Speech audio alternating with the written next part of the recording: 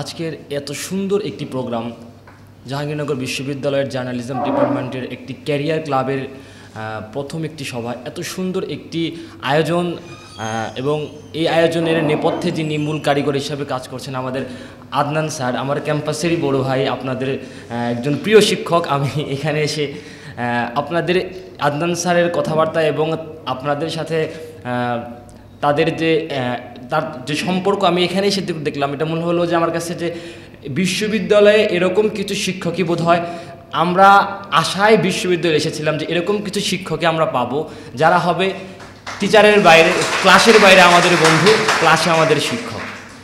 তো এত সুন্দর একটি প্রোগ্রাম এবং আমাদেরকে এখানে আমন্ত্রণ করে আমাদেরকে দু একটি কথা বলার যে সুন্দর প্ল্যাটফর্ম আদনান স্যার করে দিয়েছেন, এজন্য তাকে আমি আমার হৃদয়ের অন্তঃস্থল থেকে মোবারকবাদ এবং ধন্যবাদ জ্ঞাপন করছি।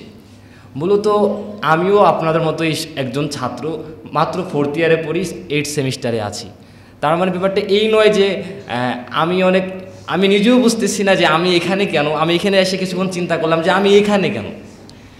ঢাকা বিশ্ববিদ্যালয়ে আমি চার বছর আগে যখন আসি, তখন গণরুমে থাকতাম এক বছর, তারপর ঢাকা বিশ্ববিদ্যালয়ে একটা হল পেলাম। এখনও যে আমার রুম আপনারা যেভাবে থাকেন, আমি এরকমই আমার একটা একটা রুমে আমরা তিন, তিনজন, তিন বন্ধু মিলে থাকি। তো আমিও যেমন একজন ছাত্র, আপনারাও ছাত্র, এবং সবাই আমরা বিশ্ববিদ্যালয়ের শিক্ষার্থী, এবং এখানে এসে খুব কিছুটা আনইজিও লাগতেছে আপনাদের সামনে কথা বলতে, কেননা এখানে অডিয়েন্স খুবই স্ট্রং আমার কথা বলার পূর্ব অভিজ্ঞতা হচ্ছে আমার এলাকায় ছোটো এলাকার বিভিন্ন ছোটোখাটো আড্ডায় কথা বলতাম। তো সেখানে গেলে ব্যাপারটা এমন হতো যে আমি ঢাকা বিশ্ববিদ্যালয়ে পড়ি, আমার অন্যান্য বন্ধুরা দেখা যায় গ্রামেই থাকে মানে মঞ্চটা তারা আমাকেই ছেড়ে দিত, আমি কথা বলতাম, তারা চুপ করে শুনতো। আমি ভুল বললেও সঠিক, আমি সঠিক বললেও সঠিক। কিন্তু আপনাদের সামনে এই যে ড্যাশে দাঁড়িয়ে আছি, আমি আমার ভিতরে কিছুটা স্পন্দন, কিছুটা কম্পন দেখতে পাচ্ছি যে অবচেতন মনে আমি অনেকটা সচেতন হচ্ছি যে আমাকে সঠিক কথাই বলতে হবে। উল্টা পাল্টা কথা বলে খবর আছে এখানে। যাই হোক, আপনাদের সকলকে আমি আমার আন্তরিক, আমার আমার মনের অন্তঃস্থল অন্তঃস্থল থেকে মোবারকবাদ এবং শুভেচ্ছা জানাচ্ছি এজন্য যে আপনারা একটা সুন্দর ক্লাব করতে যাচ্ছেন এবং এই ক্লাবটার ফিউচার আপনাদের আপনাদের ফিউচারটাকেই হয়তো অনেকের ফিউচারটাকেই চেঞ্জ করে দেবে। এবং এরকম একটি সুন্দর উদ্যোগ আমি বলতে পারি আমাদের ঢাকা বিশ্ববিদ্যালয়েও এরকম একটা সুন্দর চর্চা আমি দেখিনি। এবং যদি আমি আমাদের বিশ্ববিদ্যালয়ে এরকম কিছু একটা পেতাম, অবশ্যই আমি তার সাথে তার সাথে শরিক হয়ে আমিও চেষ্টা করতাম কীভাবে ক্যারিয়ারটাকে আরেকটু বিল্ড আপ করা যায়। তো আপনারা আমাদেরকে এখানে আমন্ত্রণ জানিয়েছেন, এজন্য আপনাদের প্রতি প্রতি আমি আন্তরিকভাবে কৃতজ্ঞ এবং আরও বিশেষ একটি কৃতজ্ঞতা এজন্যই যে ইতিপূর্বে এরকমভাবে কেউ কখনো আমাকে সম্মানিত করেনি। আমি নিজেও বুঝতে পারতেছি না এখনও যে আমি কে মনে করলাম যে আমাকে সম্মান করতে হবে। এরকম এরকম মঞ্চে আমি কখনো বসিনি ইতিপূর্বে। তো যে জন্য আপনাদের এইখানে আমি আসতে পেরেছি বা আপনারা আমাদেরকে আমন্ত্রণ আমাদেরকে আমন্ত্রণ করেছেন তার মূল হচ্ছে গালি বয় কিছু গান আমরা যা, যেগুলো কিছু করেছি এবং ফেসবুকে সোশ্যাল মিডিয়া ইউটিউবে যেগুলো ভাইরাল হয়েছে। তো এই, এইটার পিছনের কিছু কথা, যেহেতু আমাকে এখন বলতে হবে, দাঁড়িয়েছি, তো আমি বলি, আমার কথাগুলো অগোছালো হবে, কারণ এটাই হয়তো আমার প্রথম প্রোগ্রাম বা যেখানে আমি এতগুলো স্ট্রং অডিয়েন্সের সামনে কথা বলছি। আমার এই অগোছালো কথাগুলো এবং যদি শুনতে খারাপ লাগে বা আমার কথাবার্তার যে গরমিল হবে, এগুলোকে ক্ষমা সুন্দর দৃষ্টিতে দেখবেন। আমি মূলত মাদ্রাসা ব্যাকগ্রাউন্ডের একজন ছাত্র। আমি পড়াশোনা করেছি মানিকগঞ্জ ইসলামিয়া কামিল মাদ্রাসায়। আমার বাবা একজন ব্যবসায়ী, কিন্তু তিনি ঢাকা বিশ্ববিদ্যালয়ের ছাত্র ছিলেন। আমি ছোটবেলা থেকে দেখতাম যে আমার বাবার ভিতর বই পড়ার একটা তীব্র ইচ্ছা কাজ করত এবং আল্লাহর রহমতে তিনি একাধারে চার থেকে পাঁচটি ভাষায় খুব ভালো পারদর্শিতা আছে তার। তো বাবার কাছ থেকে আমি বাংলা, ইংরেজি এবং আরবি এই তিনটা ভাষার একটু একটু একটু যতটুকু পারি শেখা শুরু করি। ক্লাস নাইনে যখন উঠলাম, তখন দেখলাম যে আমাদের এলাকায় একটা রেভলিউশন হচ্ছে হিপ হপ রেভলিউশন একজনের নাম না বললে না বললে নয়, তিনি হচ্ছেন আদনান ভাই। তার কাছে প্রথম আমি এই র্যাপ গান শুনি। তখন র্যাপ হিপ হপ বলতেই বুঝতাম ইউ ইউ এই টাইপের একটা গান হচ্ছে। আদনান ভাই ওরকম করতো। তো ওই রকম দেখে খুব ইচ্ছা হতো যে আমি ওরকম করি, এরকম র্যাপ ট্যাপ করি এরকম। তো তখন লিরিক্স লিখতে চেষ্টা করতাম, বা কি হইতো উল্টা পাল্টা লিখতাম। আমার মনে আছে, প্রথম যে আমি লিরিক্সটা লিখি, সেটা ছিল একটা মশাকে নিয়ে গান। এই গানটা ছিল এরকম যে, আমাদের চারিপাশে কত মশা এসে বসে উড়ে যায়, পুন পুন শব্দ করে। তোমাদের হাতাঘাতে কত প্রাণ মৃত্যু, পৃথিবীর প্রজাতি যাচ্ছে মরে। বিলুপ্ত হওয়া থেকে বাঁচাওয়া যে মশাকে, একটু রক্ত দাও না তাকে। মশা মেরে হাত তুমি করো না, কো নষ্ট, ছেড়ে দাও, উড়ে যাক মায়ের বুকে। এটা ছিল আমার এই র্যাপ জগতের এই প্রথম গান। তো এরকম গান করতাম। তারপর যখন ম্যাট্রিক পাশ করলাম ম্যাট্রিক তো না, আমরা পাশ করেছি দাখিল পাস এসএসসি যেটা। তারপর আমার আব্বা আমাকে ভর্তি করলেন হচ্ছে দারুণ নাজাদ আলিম মাদ্রাসায়। এটা হচ্ছে ডেমরার একটি মাদ্রাসা। তো এইখানে যখন ভর্তি হলাম, ভর্তি হওয়ার পর সর্বপ্রথম কবিতার সাথে পরিচিত হলাম। তো এখানে ঢুকে দেখলাম যে এখানে কবি মানে কবি এবং কবিতা এইটার একটা ব্যাপক মানে এরা খুব সম্মান করতো এই প্রতিষ্ঠানের আমি যার, যাদের যাদের কাছে আমি জ্ঞান অর্জন করতে সক্ষম হয়েছি, এই দারুণ যাদের শিক্ষকগণ, ছাত্র সবাই কাব্য চর্চা করতো। তো এদের দেখে দেখে আমিও চিন্তা করলাম যে, আমি তো ছোটোবেলায় এলাকায় থাকতে র্যাপ গান ট্যাপ গান লিখতাম। র্যাপ গান আর কবিতা তো একরকমই যায় আমি একটু চেষ্টা করি কবিতা লিখতে পারি কিনা। তারপরে সেখান থেকে কবিতা লেখার শুরু কিছু বড় ভাই, কিছু শিক্ষক, ফরিদ স্যার, বিশেষ করে একজন স্যার ছিলেন। আমার তিনি আমাকে কবিতা লেখা খুব হেল্প করেছেন। ডক্টর আমজাদি স্যারের কথা আমি বলব।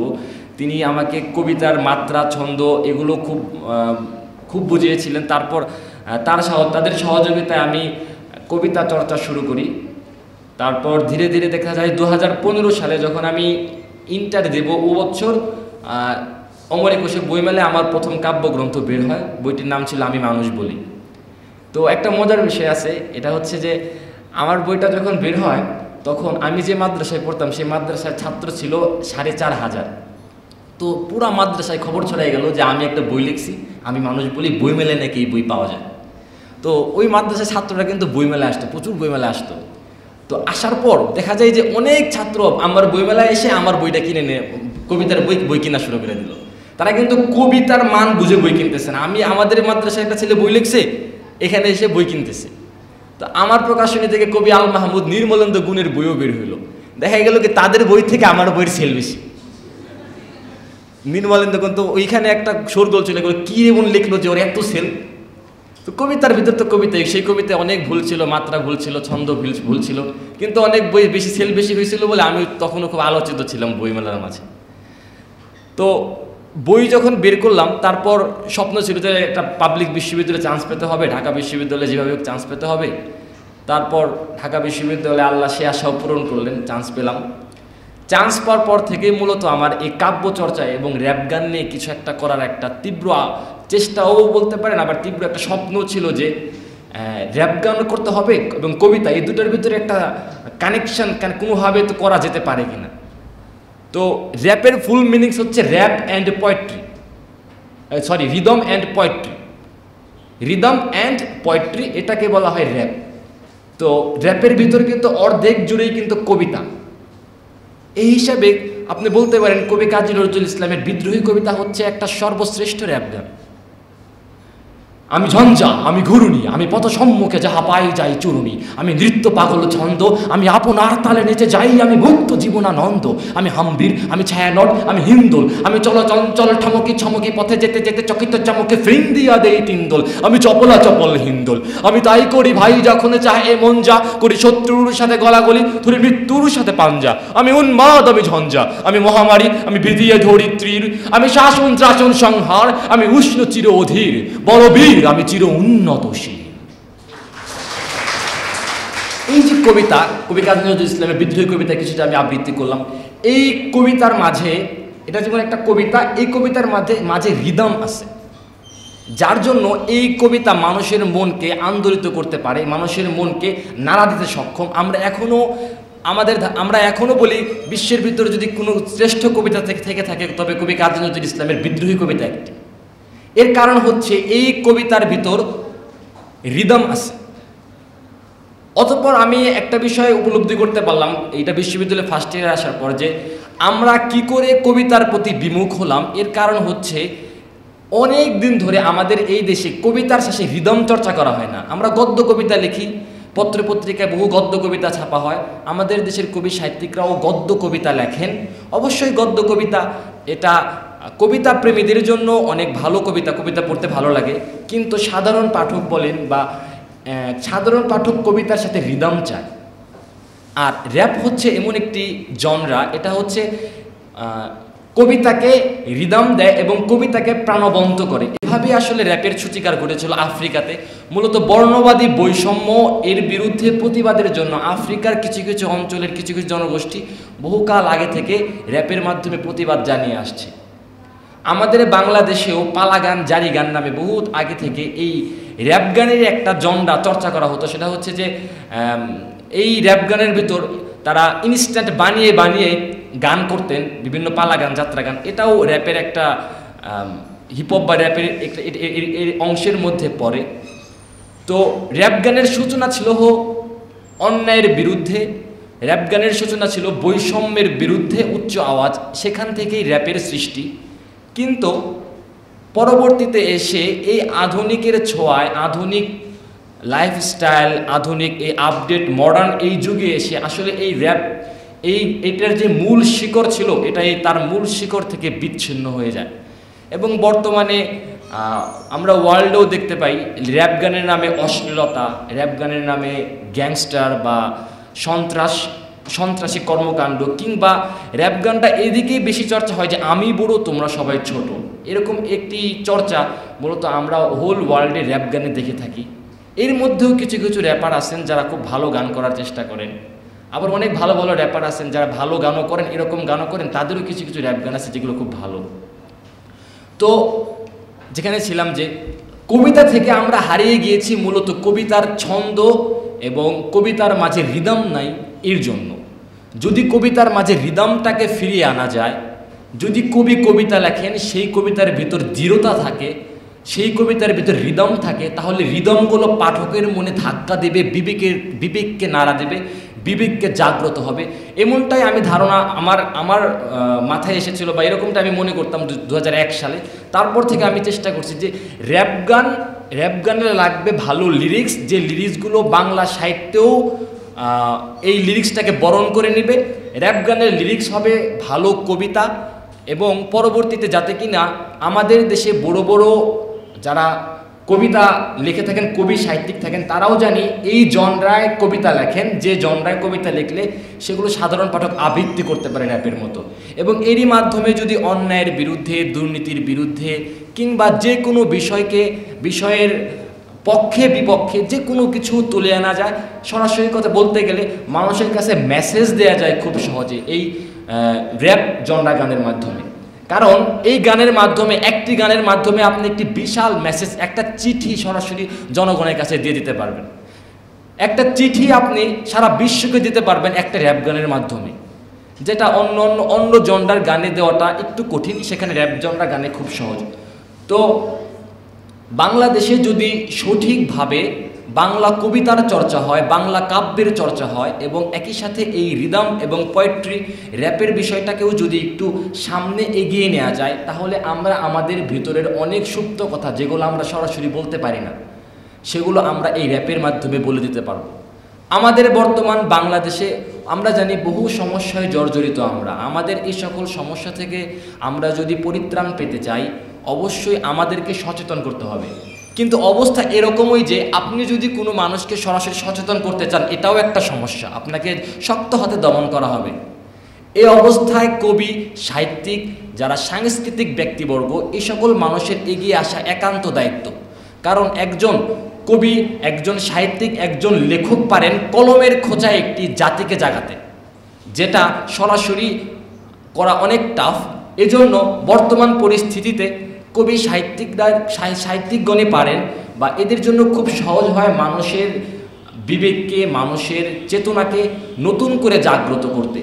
এজন্য কবিতা যারা আপনারা চর্চা করেন কিংবা কাব্য চর্চা করেন, তাদের প্রতি আমার অনুরোধ থাকবে, আপনারা এমন সব কাব্য এবং কবিতা চর্চা করবেন, যে কবিতা শুধু আপনাদেরকেই আনন্দ দেবে না, বরং আনন্দ দেবে আপনাদের পাঠকদের এবং পাঠকরা সে কবিতা সানন্দে পড়বে এবং তার মাধ্যমে সঠিক মেসেজটি যাতে পায়। অতপর আসি আমি গালিবয়ের এই এই বিষয়টিতে। তো এই বিষয় হচ্ছে যে আমি তো বহুদিন যাবৎ চেষ্টা করছিলাম যে কীভাবে র্যাপ গান দিয়ে ভালো কিছু করা যায়। তো এই বছর জানুয়ারি, ফেব্রুয়ারিতে আমি বেসিক্যালি যে গালি বয় মুভিটা হয় জেন আক্তারের সম্ভবত হিন্দি গালি বয় এই মুভিটা দেখার পরে মূলত আমি আরও বেশি তাগাদা অনুভব করি যে আমাদের বাংলাদেশের অলিগুলির অনেক গল্প আছে। এই গল্পগুলো মানুষদেরকে সঠিকভাবে জাগাতে, জানাতে হবে। এই ধারণাটা আবার এই এই চিন্তাটা তখন থেকে আসছিল যে আমরা আমাদের ক্যাম্পাসে ঢাকা বিশ্ববিদ্যালয়, আপনাদের ক্যাম্পাসেও, ক্যাম্পাসে বের হলে আমরা ছোটো ছোটো পথ শিশু দেখি। তো এই পথ শিশু দেখি ছোটো ছোটো এই সাত, আট, নয় বছরের বাচ্চা, এরা ভিক্ষা করে, এরা আমাদের কাছে চায়, এরা ফুল বিক্রি করে। তো বিষয়টা অনেক প্যাথেটিক এবং এটা আমার কাছে মনে হলো যে আমরা যে বড় বড় অট্টালিকায় বসে আছি এই যে গাড়ি বাড়ি নিয়ে ঘুরতেছি দালান কোঠার মধ্যে বসে আছি, আমার কাছে মনে হলো যে এই ছোট একটা পথ শিশু শুধু দয়া করছে বলে আমি এই গাড়িতে মনে ঘুরতে পারতেছি। কারণ হচ্ছে, একটা বাংলাদেশের নাগরিক, তাকে আপনি পাঁচটি মৌলিক অধিকারের পাঁচটি মৌলিক অধিকার দিবেন, এটা প্রতিটি মানুষের দায়িত্ব, এটি বাংলাদেশ সরকারের দায়িত্ব, আমার আপনার সবার দায়িত্ব, এই দেশের ষোলো কোটি জনগণ পাঁচটা মৌলিক অধিকার রক্ষা করবে। আর আমি আমি বাংলাদেশ সংবিধান কখন মানব? যখন বাংলাদেশ সরকার আমার দেশের জনগণ আপনারা আমাকে এই পাঁচটি মৌলিক অধিকার নিশ্চিত করবেন, তখন আমি রেসপেক্ট থাকব আমাদের সংবিধানের প্রতি। আমি মৌলিক অধিকার পাচ্ছি না, আমার থাকার জায়গা নাই, আমার খাওয়ার জায়গা নাই। আমি যদি একটা ক্রাইম করি, আপনি বলেন কে? আমি যেতে চাই আমাকে পাঠিয়ে দেন, অন্য কোনো দেশে পাঠিয়ে দেন, যে দেশে আমার মৌলিক অধিকার নিশ্চিত হবে, তাও যদি দেবেন না পাসপোর্ট ভিসা কত প্রসেস কাটাতারের গন্ডি পেরোতে দিবেন না, আবার আপনি আমাকে খেতেও দিবেন না, আবার আপনি আমাকে ভাতও দিবেন না, থাকার জায়গাও আমার নাই, আবার সংবিধান আপনারটাই মানতে হবে, আপনি গাড়ি নিয়ে গেলে আমাকে সাইড দিতে হবে। সব কি মগের মূল লক্ষ্য? যদি একবার একটা পথ শিশু বা এরকম একটা গোষ্ঠী যদি একবার বলে বসে, কই যাবেন? অতএব এই ছোট ছোট বাচ্চারা, এদের এদেরকে আমরা যে হেলাই ফেলাই দেখি, মন চেলে দশ টাকা দিই না না হইলে না দিই, একসময় তারায় দিই, আবার মাঝে মাঝে অনেক আদর, আদরও করি। ব্যাপারটা হচ্ছে এরকম একটা অবস্থায় আমরা থাকি। বলব না এরকম যে পথ শিশু দেখলে আমরা দূর দূর করে তাড়িয়ে দিই, ব্যাপারটা তা না। আমরা এদের ভালোবাসি, আবার দূর দূর করে তাড়িয়েও দিই, মাঝে মাঝে এক টাকা দিই, দুই টাকা দিই। আমরা একটা মিশ্র অনুভূতি তাদের প্রতি আমার আমাদের ভিতরে কাজ করে, যেটা সম্পূর্ণ ডিপেন্ড করে কখন আমি কোন অবস্থায় আছি। মাথা ভালো থাকলে আদর করি, মাথা গরম থাকলে ঝাড়ি মারি। তো আসলে বিষয়টা এটা সমাধান না। এদের একটা শক্ত মেসেজ এই পথ শিশুদের একটা শক্ত মেসেজ জনগণের কাছে দেয়া, এটা ছিল এই এরকম একটা এত স্ট্রং লক্ষ্য নিয়ে কাজ শুরু করিনি। প্রথমে চেয়েছিলাম যে গালি বয়ের একটা গান করি, যে গালি বয় গানে একটা ছোট বাচ্চা থাকবে যে পথ শিশুদের কথা বলবে, আমি তার কথাটাকে একটু ডিসক্রাইব করব, এরকম করে কিছু গান করব, এরকম একটা চিন্তা ভাবনা থেকে শুরু হয়েছিল। তো তারপর ক্যাম্পাসে আমি পথ দেখলে জিজ্ঞাসা করতাম যে তুমি গান পারো কি না কবিতা পারো কি না কী পারো, এরকম নক করতাম। তো কোর করার এক পর্যায়ে রানার সাথে আমার দেখা হয়ে যায় এস এম হলের সামনে, ঢাকা বিশ্ববিদ্যালয় সলিমুল্লাহ মুসলিম হল। তো সলিমুল্লাহ মুসলিম হলের সামনে রানা একদিন আমার, আমি বাইকে করে যাচ্ছি, ও ও নিজে আসলো আমার কাছে, এসে বলল যে, ভাই আমাকে বাইকে একটু ঘুরান। তো রানা অনেকটা স্ট্রেট ফরওয়ার্ড কথাবার্তা বলে যে সরাসরি, ভাই, আমি বাইকে ঘুরান। যেমন এখানে আসলাম, ওকে খাইতে দিল ওই জায়গায় চিংড়ি মাছ দিয়ে আমাদের অনেক আপ্যায়ন করল, ও ডিরেক্ট বলল, আমার কানে কানে বলছে, ভাই মাছের মাথা খাব। এরকম স্ট্রেট ফরওয়ার্ড কথা রানা বলে। তো স্ট্রেট ফরওয়ার্ড ও আমাকে এসে বলতেছে যে, ভাই, আমাকে বাইকে ঘুরান। আমি বললাম, ঠিক আছে, উঠো, তুমি বাইকে উঠো। পরে ওরা একটু ঘোরার ঘুরালাম, ঘোরার মাঝখানে জিজ্ঞেস করলাম, কি গান পারো? তখন ও আমাকে সরাসরি একটা র্যাপ গানের প্রথম শোনাইলো একটা মানে ও শুরুতে আমাকে একটা র্যাপ গান শোনাইলো আর কি। তো ওর গানটা শোনার পর আমার খুব ভালো লাগল, বিশেষ করে ওর গলাটা খুব ভালো লাগল স্ট্রং একটা এনার্জি আছে ওর গলার ভিতর। তারপর ওকে আমি নিয়ে গেলাম হচ্ছে আজিমপুরে, আমার একটা ফ্রেন্ডের বাসা আছে। ওর নাম জুহাইর। হলে তো এরকম কাজ করার ওরকম অনুকূল পরিবেশ আছে, তারপরেও ওই জোহারের বাসা, ওর বাসায় একটু কাজ করে রিল্যাক্স পাই আমি। তো ওর বাসায় নিয়ে গেলাম। ওখানে নিয়ে যাওয়ার পর রানার কাছে রানার স্টোরি শুনলাম, ওর পরিবার সম্পর্কে শুনলাম, ও কেমন আছে, কোথায় থাকে, কি করে। তারপর গালি বইয়ের প্রথম গানটা লিখলাম। আমি রানা গালি বয়। তারপর মোটামুটি সাত দিনেই আমি অডিও গানটা অডিও রেডি করলাম। অডিও রেডি করার পর রায়হান ভাই বললাম যে, ভাই, এখন ভিডিও করতে হবে, কেমনি কী করা যায়? তো আমাদের একটা ক্যামেরা ছিল। ওই ক্যামেরার মডেল খুব ভালো ছিল না। খুব পুরাতন একটা ক্যামেরা ছিল। তো ওই ক্যামেরা দিয়েই আমি, রায়হান আর রানা একদিন রমজান মাসে সারাদিন শ্যুট করি। শ্যুট করার পর রাত্রেবেলা এডিট করি। এডিট করার পর দেখলাম যে রেজুলেশনটা অনেক খারাপ। এই রেজুলেশনটা দেখতে খুব বাজে লাগে। তখন আমরা এটাকে ব্ল্যাক অ্যান্ড হোয়াইট করে দিই। ব্ল্যাক অ্যান্ড হোয়াইট করলে দেখা যায় মোটামুটি রেজুলেশনটা যে খারাপ, ওইটা বোঝা যায় না। তো ব্ল্যাক অ্যান্ড হোয়াইট করে তারপর ওইটাকে আমরা আপলোড করি। আপলোড করার পর মাসাল্লাহ তারপরে দেখা যায় যে সবাই সেই গানটাকে খুব ভালোভাবে আপনারা খুব গানটাকে প্রচুর পরিমাণে লাইক শেয়ার কমেন্ট করেছেন এবং আপনাদের খুব ভালো লেগেছে, এমন একটা ফিডব্যাক দিয়েছেন। তারপরেই মূলত আসলে আমাদের পরিকল্পনাটা স্থির হয় যে আমরা একটা শক্ত মেসেজ দিব। বাংলাদেশকে, বাংলাদেশের সকল মানুষের কাছে পথ শিশুদের পক্ষ থেকে। কারণ আমরা দেখেছি যে আমাদের ঢাকা বিশ্ববিদ্যালয়ে আমাদের খাবার একটু কম পড়লে আমরা কিন্তু রাস্তায় নেমে যাই। শাহবাগে রাস্তা রাস্তা ব্লক করে একদম বিশাল আন্দোলন করে দিই। কি পাই আমাদের চাকরির কোটা লাগ দরকার আর একটু? হয়তো বা আমাদের চাকরির বয়স সীমা আর একটু বাড়ানো দরকার। যেটা কিন্তু খুবই ছোট দাবি, পথ শিশুদের মানে পথ শিশুদের মৌলিক অধিকারের সাথে তুলনা করলে এটা কোনো আন্দোলনের ইস্যুই হতে পারে না। তো এরকম একটা বিষয় কাজ করল মনের ভিতর। আমি রায়হান উদ্দিন সবাই মিলে আমরা বসলাম, বসার পর চিন্তা করলাম যে শক্তিশালী একটা মেসেজ দিতে হবে। তারপরে অনেকে অনেক লিরিক্স লেখার পর নিকটের অনেকে অনেকেই বলেছিল যে, না লিরিক্স এভাবে তুমি বলতে পারো না, আর একটু সহজ করে বলতে হবে। কিন্তু তারপরে বললাম যে, না, যেটা যেভাবে আসছে সেভাবে আমরা লিরিক্স লিখব, যা হয় হবে। ভয় করি না, বুলেট বোমা, আমরা সবাই মুজিব সেনা। তো তারপর গান আমরা করলাম এবং পথ একটা মেসেজ বোধহয় আমরা বোঝাতে সক্ষম হয়েছি কিনা জানি না, আমরা চেষ্টা করেছি বাংলাদেশের মানুষের কাছে এই মেসেজটা পৌঁছে দিতে যে পথ অনেক কষ্টে আছে, এদের মৌলিক অধিকার আগে নিশ্চিত করে তারপর অন্যান্য উন্নয়ন হোক, পদ্মা সেতু হোক, এটা আমিও চাই। আপনারাও চান মেট্রো রেল হোক, দেশের উন্নতি হোক, এটা যেমন আমরা সবাই চাই, কিন্তু এটাও ঠিক যে পদ্মা সেতু দশ বছর পরে হলেও আমাদের এই দেশের মানুষ বেঁচে থাকবে, কিন্তু তার, সেটার থেকেও বেশি প্রয়োজন আজকে যারা মৌলিক অধিকার পাচ্ছে না, অন্তত তাদের মুখে দুবেলা দুমুঠো খাবার, তাদের শিক্ষাটা খুব বেশি প্রয়োজন। কেন বেশি প্রয়োজন?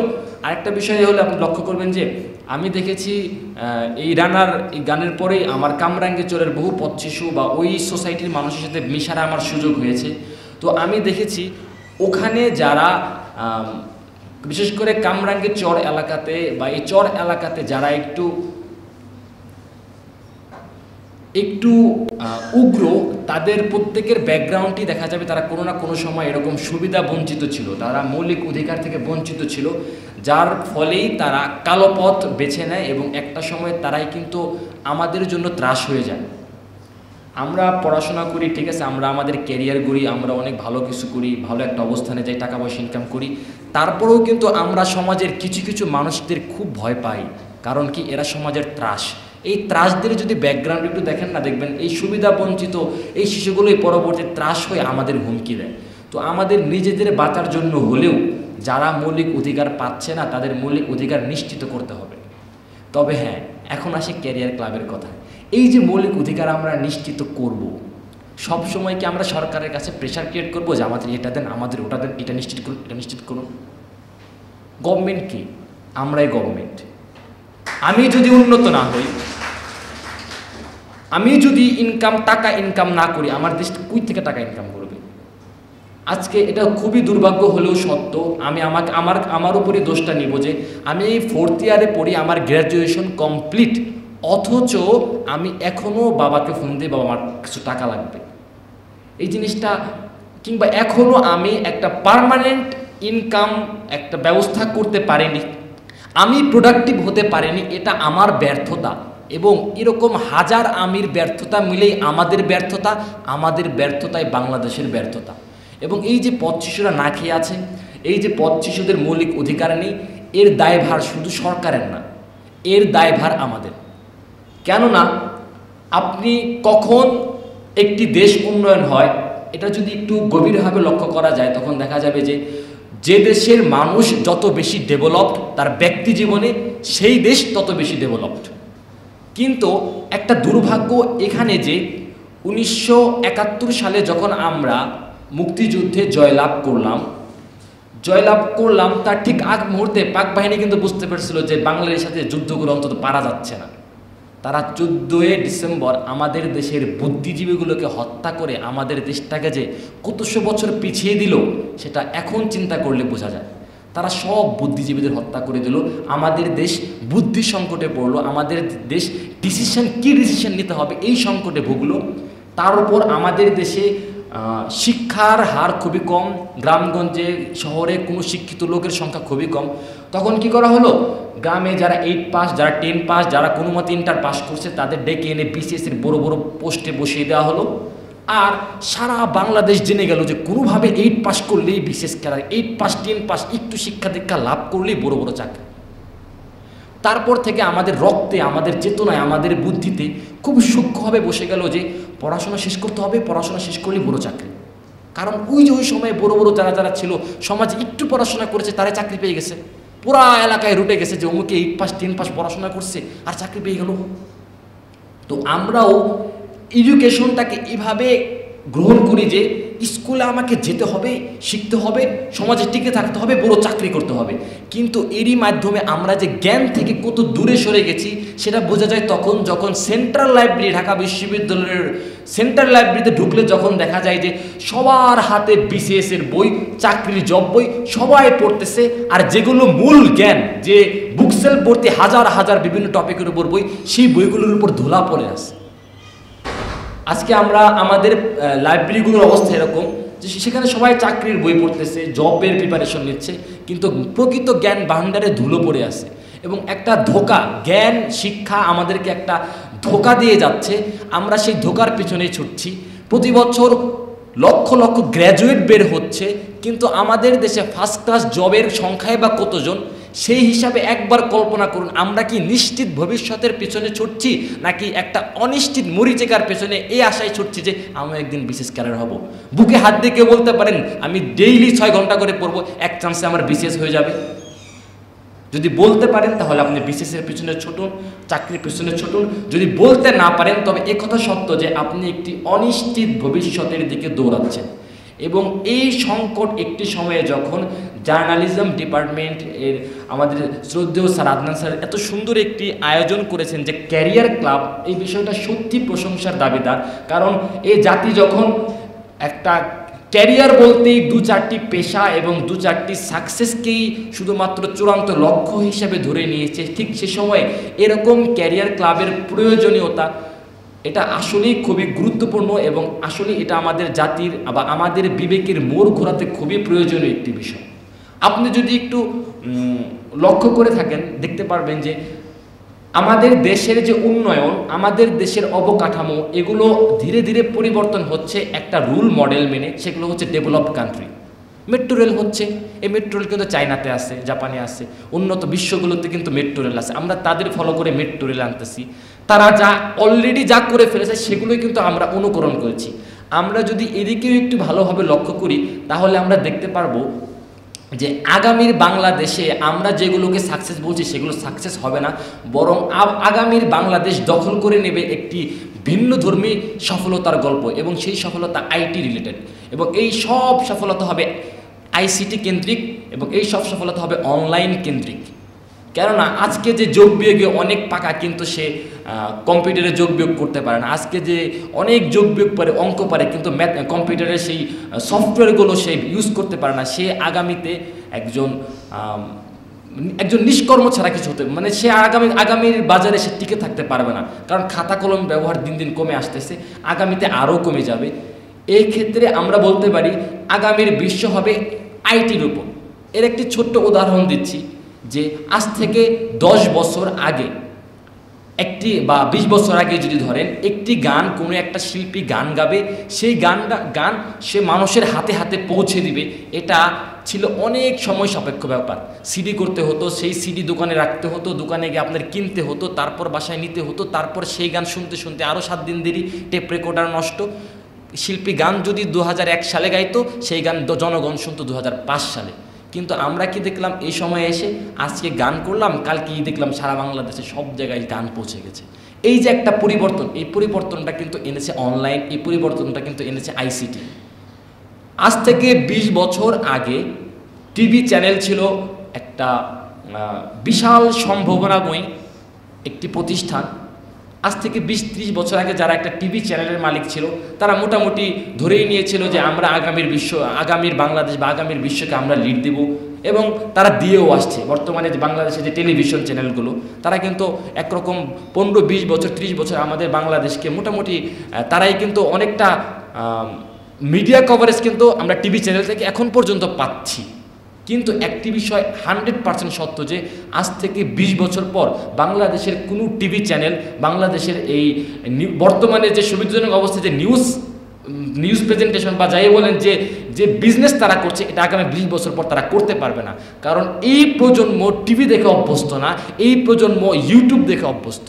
অতএব আজকে যারা একটা ইউটিউব চ্যানেলের মালিক যে ইউটিউব চ্যানেলে এক লক্ষ, দু লক্ষ, তিন লক্ষ সাবস্ক্রাইবার আছে, এরা যদি এটাকেই ধরে নিয়ে আগামী বিশ বছর পর চলে, আগামী বিশ বছর পর তারা একটা বর্তমানে যে বড় বড় টিভি চ্যানেলের একটা মালিক বা বড় বড় টিভি চ্যানেলের মধ্যে প্রতিষ্ঠানের যারা হেড আছেন, আগামী বিশ বছর পর একটা ইউটিউব চ্যানেলের মালিক সেই অবস্থানে যাবে এবং সে তার ক্যারিয়ারকে হান্ড্রেড পারসেন্ট এটার মাধ্যমে গঠন করে নিতে পারবে। এই ক্ষেত্রে আমি বলব যে অনলাইন একটা বিশাল প্ল্যাটফর্ম যে প্ল্যাটফর্মে হাজার হাজার হাজার হাজার মানুষ আগামীর বাংলাদেশে কর্মসংস্থান পাবে। কিন্তু এখন যদি আমরা অনলাইনের দিকে এগোতে চাই, এগুলো আমাদের নিজস্ব উদ্যোগে এগোতে হবে। এটা হবে একটা ভিন্ন ধরনের চিন্তা, এটি হবে একটা রিক্স এবং এই রিক্সে যে পা ফেলবে, সে গেইন করবে, তার গেইনের সফলতার উপর নির্ভর করেই পরবর্তীতে সেই বলতে পারবে নো রিক্স নো গেইন আই টেক রিক্স নাও আই এম গেইনার বাংলাদেশে আরও কিছু কিছু বিষয় আমি লক্ষ্য করেছি যে কিছুদিন আগে আমি আইসিটি মন্ত্রণালয়ের একটি অধিবেশনে একটি আমার যাওয়ার সুযোগ হয়েছিল। সেখানে ICT state minister Junaid Ahmed Palak স্যারের সাথে আমার কিছুক্ষণ কথা বলার সুযোগ হয়েছিল। তো সেখানে আমি আরও কিছু লোক এসেছিল। তাদের সাথে আমি একটা বিষয় দেখলাম যে বাংলাদেশ গভর্নমেন্ট সরকার চাচ্ছে মানুষকে বহু ধরনের সেবা দিতে। কিন্তু সরকার সক্ষম নয়। এমন অনেক সেবা আছে, যে সেবাগুলো যদি আপনারা সাপ্লাই করতে পারেন, সরকার সেটাকে সাদরে গ্রহণ করে নিচ্ছে। এমন একটা সেবার কথা আমি শুনে আসলাম যে একজন লোক তিনি আসছেন, তিনি লন্ডনের একটা বড় বিজনেসম্যান তিনি বাংলাদেশে মেডিকেলের উপর একটা সেবা দিতে চান। তিনি একটা অর্গানাইজেশন করতে চান। যে অর্গানাইজেশনে তিনি একটি সফটওয়্যার দিবেন এবং এই সফটওয়্যার এবং অ্যাপস বাংলাদেশের প্রত্যেকটি চিকিৎসক, চিকিৎসককে এই অ্যাপস ব্যবহার করতে হবে। সরকার এটা আইন করে দিবে। এবং এই অ্যাপসটা হবে এরকম যে বাংলাদেশের যত ডক্টর আছেন, তারা যে প্রেসক্রিপশন দেন, তারা আর প্রেসক্রিপশন দেবে না। তারা একটা নির্দিষ্ট প্যাডে নির্দিষ্ট প্যাডে তারা প্রেসক্রিপশন লিখবেন। এবং যখনই একজন রোগী কোনো ডক্টরের কাছে যাবেন প্রথম স্টেপ হবে যে ডক্টর ওই রোগীর নামে একটা প্রোফাইল খুলে রাখা, একটা প্রোফাইল খোলা ওই রোগীর নামে। প্রথমে প্রোফাইল খুলবেন প্রোফাইল খোলার পরে সেই প্রোফাইলে তিনি তার কি রোগ হয়েছে তার ডেসক্রিপশন দিবেন এবং রোগের চিকিৎসা দিবেন। এবং তার প্রেসক্রিপশনে ওই প্রোফাইলের ইউজার এবং পাসওয়ার্ডটা দেওয়া থাকবে। যাতে করে একটা রেকর্ড সেভ হয়ে থাকে যে আপনি এ যাবৎকাল যত ডক্টর কাছে গিয়েছেন এবং কি কি রোগ আপনার এ জীবনে হয়েছিল সব কিছুর একটা রেকর্ড আপনার প্রোফাইলে থেকে যাবে।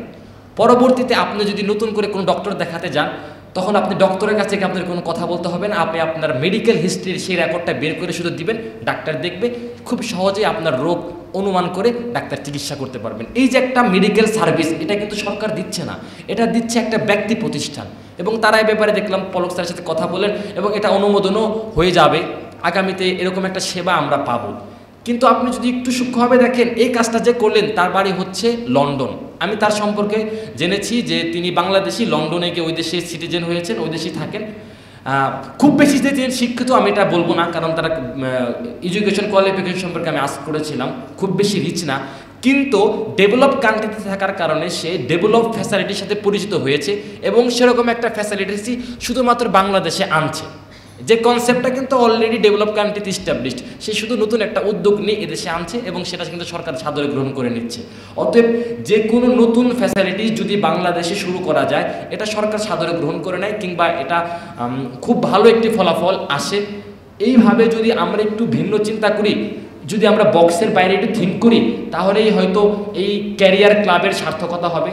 এই ক্যারিয়ার ক্লাবটা অবশ্যই চাবে যে আমাদের এখান থেকে বিভিন্ন সেক্টরে বিভিন্ন স্থানে আমাদের সেক্টরের ছেলেরা তাদের নিজেদের মেধায়, নিজেদের পছন্দের জায়গাটিতে স্টাবলিশড হোক। হ্যাঁ এখান থেকে এসপি হবে, এখান থেকে এসপি হবে, এখান থেকে ডিসি ম্যাজিস্ট্রেট সব হবে। এরই মাধ্যমে এখান থেকে আরও বিভিন্ন সেক্টরে নতুন নতুন উদ্যোক্তা আসবে, যারা হাজার হাজার কর্মসংস্থানের ব্যবস্থা করে দেবে।